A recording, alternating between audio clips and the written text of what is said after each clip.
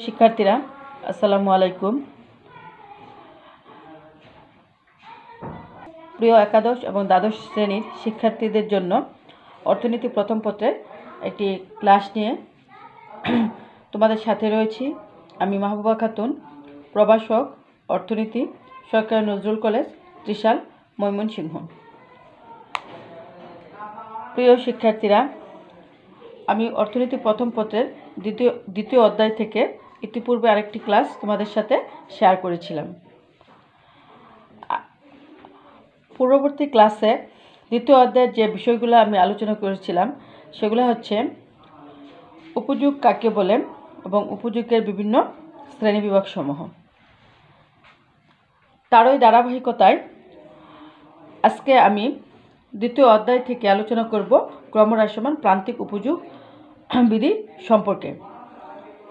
তাহলে প্রথমে আমি আলোচনার সুবিধার্থে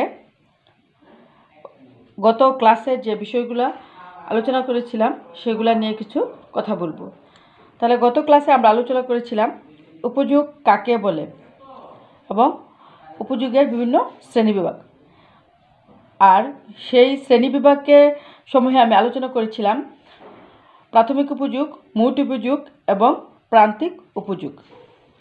আর আজকে আমি যে বিষয়টা আলোচনা করব, সেটা হচ্ছে ক্রমহ্রাসমান প্রান্তিক উপযোগ বিধি। এই বিধিটি আলোচনা করার জন্য আমাদেরকে লাগবে প্রান্তিক উপযোগ। তাহলে আমি তোমাদের সুবিধার্থে প্রান্তিক উপযোগের সংজ্ঞাটা আরেকবার দেব, যে কোনো দ্রব্যের অতিরিক্ত এক একক ভোগের জন্য মোট উপযোগের যে পরিবর্তন হয়, তাকে ক্রমহ্রাস সরি তাকে প্রান্তিক উপযোগ বলা হয়ে থাকে। আর এই প্রান্তিক উপযোগটাকে আমরা এম ইউ অক্ষর দ্বারা প্রকাশ করে থাকি। তাহলে এখন আমি আলোচনা করব ক্রমহ্রাসমান প্রান্তিক উপযোগ বিধি। আর যখনই আমরা কোনো বিধি আলোচনা করব, সেক্ষেত্রে আমাদের কিছু ধারাবাহিকতা মানতে হবে। যেরকম যে এই বিধিটির প্রবক্তাকে মূল বক্তব্য কী, অনুমিত শর্তসমূহ এবং উদাহরণের সাহায্যে ব্যাখ্যা, চিত্রের সাহায্যে ব্যাখ্যা এবং সবশেষে সীমাবদ্ধতা সমূহ তাহলে সেই ধারাবাহিকতায় আমি প্রথমে আলোচনা করব ক্রমহ্রাসমান প্রান্তিক উপযোগ বিধিটির প্রবক্তা সম্পর্কে বা এই বিধিটি কে দিয়েছেন। তাহলে এখন আমরা দেখব যে এই ক্রমহ্রাসমান প্রান্তিক উপযোগ বিধির প্রবক্তা কে। আমরা সকলেই জানি যে ক্রমহ্রাসমান প্রান্তিক উপযোগ বিধির ধারণাটি সর্বপ্রথম জার্মান অর্থনীতিবিদ হ্যারম্যান হেনরিক গুসেন দিয়েছিলেন। পরবর্তীতে এটি মার্শালের বাসায় পরিপূর্ণতা লাভ করে। এই বিধিটিকে, এই বিধিটি সম্পর্কে আবার জেবন্স এই বিধিটিকে গুসেন ফার্স্ট ল নামেও অভিহিত করে থাকেন। এখন আমরা দেখব যে এই বিধিটির মূল বক্তব্য কী। তাহলে এই বিধিটির মূল বক্তব্য হচ্ছে, অন্যান্য অবস্থা স্থির থেকে কোনো নির্দিষ্ট সময়ে কোনো ব্যক্তি যখন একই দ্রব্য ক্রমাগতভাবে বুক করতে থাকে, তখন ওই দ্রব্যের মোট উপযোগ বৃদ্ধি পেলেও প্রান্তিক উপযোগ কমে হ্রাস পায়। অর্থাৎ এই কথাটা আমরা আরেকটু সহজভাবে বলতে পারি। অর্থাৎ একই দ্রব্য কোনো ভোক্তা যদি বারবার বুক করতে থাকে, তাহলে ওই দ্রব্যটির ভোগের পরিমাণ বৃদ্ধি পায়। অর্থাৎ মোট উপযোগ, সেক্ষেত্রে মোট উপযোগ বৃদ্ধি পায়, কিন্তু প্রান্তিক উপযোগ ধীরে ধীরে কমতে থাকে। আর এই প্রান্তিক উপযোগের ক্রমান্বয়ে কমে যাওয়াটাকেই বলা হয়ে থাকে ক্রমহ্রাসমান প্রান্তিক উপযোগ বিধি। এখন আমরা যখন উদাহরণের সাহায্যে এই বিষয়টা দেখব, তাহলে বিষয়টা আমাদের আরও পরিষ্কার হয়ে যাবে। এখন এই বিধিটি প্রমাণ করার জন্য আমাদের কিছু অনিয়মিত শর্তের প্রয়োজন হবে। সেগুলা কি? যে প্রথমে আছে উপযোগের পরিমাণ, পরিমাণগত পরিমাপ সম্ভব।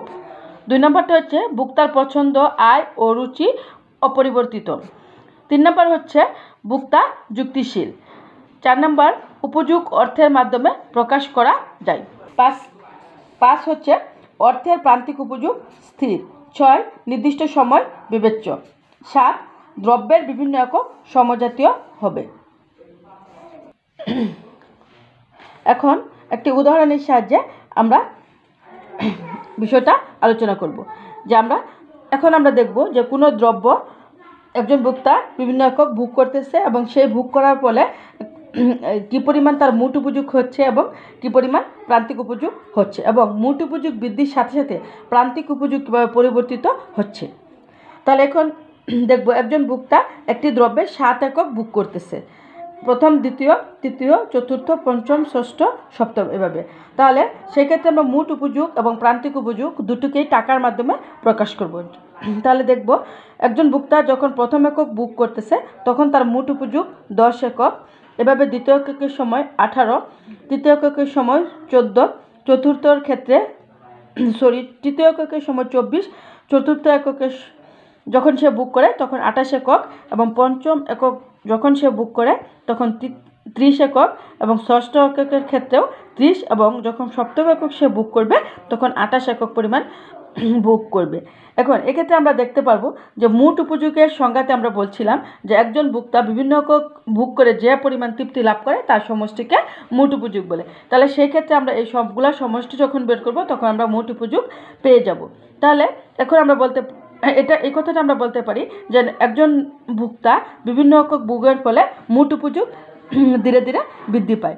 কিন্তু এখন প্রান্তিক উপযোগের ক্ষেত্রে কি হবে সেটা আমাদের দেখার বিষয়।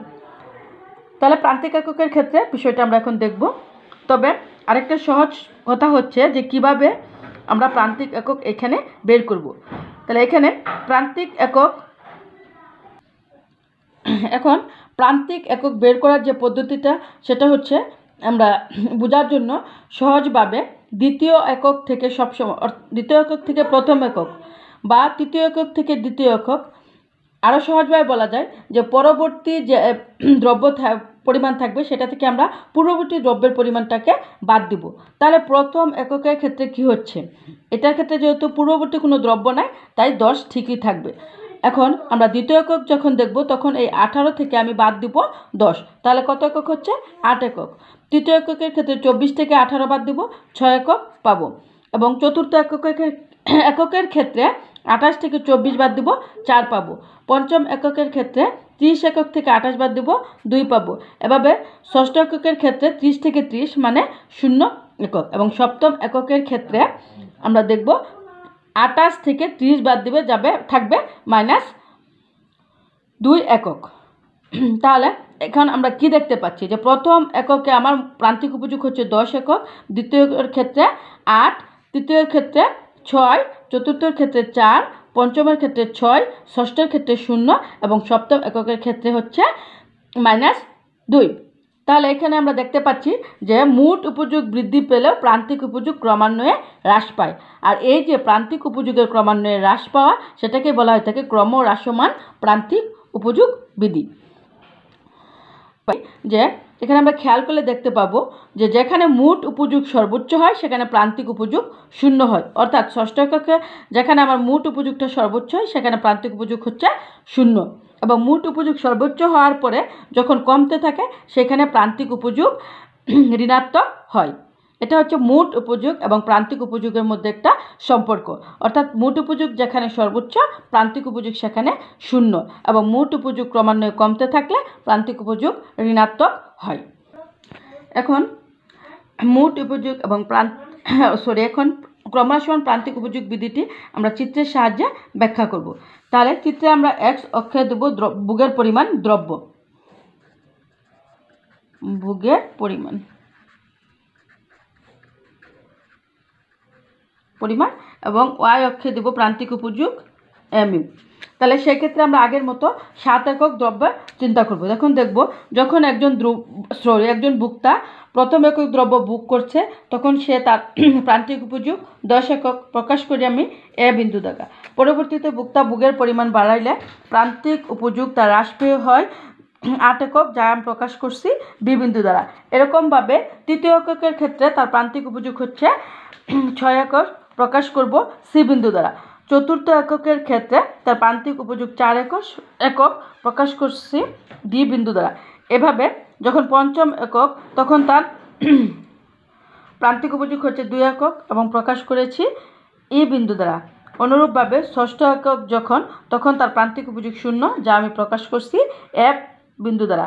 এভাবে যখন সে সপ্তম একক বুক করে, তখন তার প্রান্তিক উপযোগ হয়ে যায় ঋণাত্মক মাইনাস দুই। আর এটাকে আমি প্রকাশ করছি জি বিন্দু দ্বারা। এখন এই A B C D E F এবং জি বিন্দুসমূহ যোগ করে এম ইউ প্রান্তিক উপযোগ রেখা পাই। এবং এই রেখা থেকে আমরা দেখতে পাচ্ছি যে বুকটা একই দ্রব্য বারবার বুক করতে থাকলে তার মোট উপযোগ ঠিকই বাড়ে, কিন্তু প্রান্তিক উপযোগ ক্রমান্বয়ে হ্রাস পায়। এই এই বিধিটা শেষ করার জন্য আমার কিছু সীমাবদ্ধতা লাগবে। অর্থাৎ যে- কোনো বিধি শেষ করতে করতে গেলে কিছু সীমাবদ্ধতা লাগে। আমি সংক্ষেপে সীমাবদ্ধতার কয়েকটা পয়েন্ট তোমাদের সাথে শেয়ার করতে চাই। যেরকম, প্রথমে আমরা লিখব যে অপরিবর্তনীয় অনুমতিসমূহ। অর্থাৎ নির্দিষ্ট সময়ে ভোক্তার আয়, রুচি, পছন্দ অপরিবর্তনীয় বলে অনুমিত। কিন্তু স্বল্পকালে এই অনুমতি মেনে না নিলেও দীর্ঘকালে মেনে নিলেও দীর্ঘকালে তা সম্ভব হয় না। এছাড়া আরও রয়েছে দ্রব্যের বিভিন্ন কর অর্থাৎ এখানে আমরা বলা হয় থাকে দ্রব্যগুলো সমজাতীয়। কিন্তু এটা সবসময় একই রকম নাও থাকতে পারে। এরকমভাবে আমরা বিস্তারিতভাবে ব্যাখ্যা করে দেবো। এখন বাকিগুলো আমি পয়েন্ট আকারে বলে যাচ্ছি। যেমন সময়, শখের দ্রব্য পরিবর্তক ও পরিপূরক দ্রব্যের যোগান, অনুকরণ প্রবৃত্তি, আবেগ, কৃপণের ক্ষেত্রে ভোক্তার চরিত্র, অন্যের মজুদ দুষ্প্রাপ্য দ্রব্য ইত্যাদি আমাদের সীমাবদ্ধতা থাকতে পারে। তাহলে এই ছিল আমাদের আজকের ক্লাস। আজ এ পর্যন্তই। ধন্যবাদ সবাইকে। আসসালামু আলাইকুম।